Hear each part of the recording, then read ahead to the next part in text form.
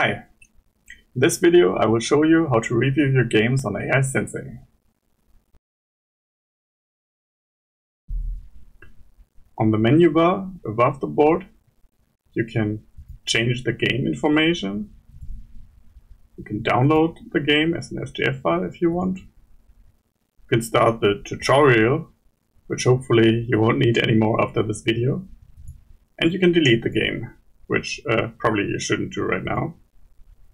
You can also enter full screen mode, see some more information, and uh, you can toggle whether the game is public.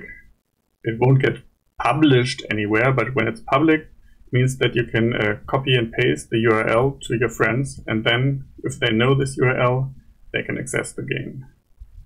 You can also share it on Facebook if you like, but in the future we will make it easier to share your games with friends on all sorts of social media. Finally, you can also take the games. You can navigate using these blue buttons or your keyboard. You can also jump to the beginning or the end of the game, as you would expect. The only thing that might be new for you are these red buttons. They will take you to the next mistake.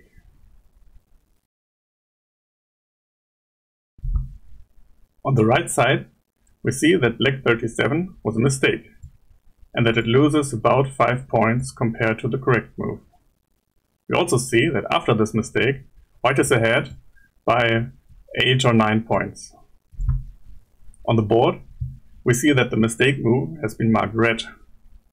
And we also see these cute smileys on the white stones. Because actually, black should have played A to capture the white stones, but because they didn't get captured, they are happy now. If we jump to another mistake, we see that now they are unhappy because white should have saved them, but white didn't. A is the move that the AI considers best, but B and C would also be okay and much better than the game move.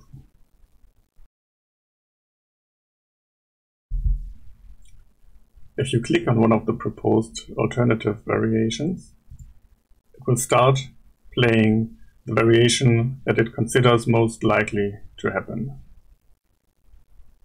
As we have the high dan quality right now, this variation will be very long, but uh, on the free version it's typically like four moves for a variation. I wouldn't worry too much about all the details in the variation, as they can be very complicated. We can also navigate through it. So maybe it's uh, most important to just see the direction of all the moves that are played. Like two means that actually the bottom side is quite important. And three means that, yeah, this shape is important. White should worry about this group still. Uh, yeah, you can navigate through the variation here. You can also start replaying them from the beginning, or you can uh, pause or start the automatic variation playing. Please note that when we are very deep in a variation, uh, it's actually less accurate than at the beginning. So the moves are usually good shape, but they weren't read as deep as the first move. So don't completely trust the move that was deep in a variation. It's rather a suggestion than a guarantee. Whenever you want to experiment with some moves on your own, you can open a trial board and click whatever moves you like. This trial board is just for yourself and won't get analyzed by the AI. But in the future, we are planning to implement the so-called live mode, where you can actually even send these positions to the AI again and get some feedback on your variations.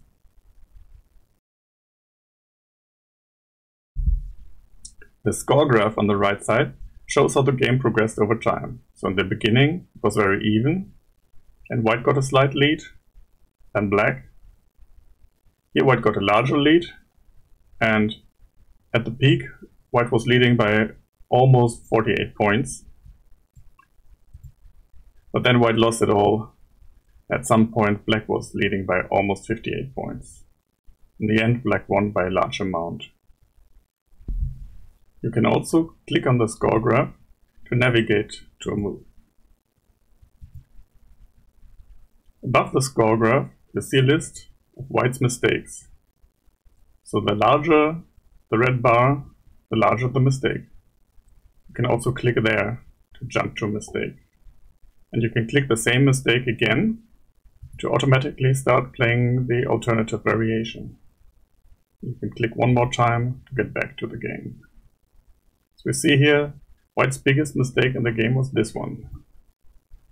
Dying with the whole group. Below the score graph, you see a list of Black's mistakes. And of course, you can click them as well.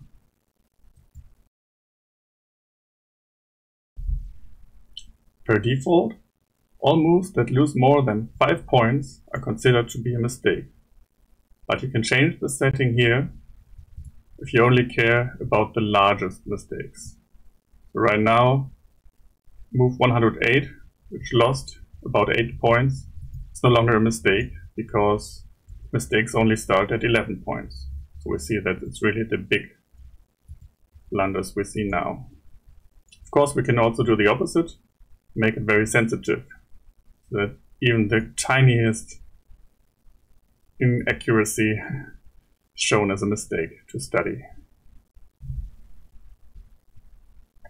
Below, you see a more detailed list of all the mistakes, depending on the current settings. You can also filter this list to show only the black or only the white mistakes. Finally, you can sort them to show you the biggest mistake first. So that's another way to quickly browse the most important points in your game. In the next videos, I will show you some of the more advanced features of AI Sensei, as well as our new quiz mode. So thanks for watching.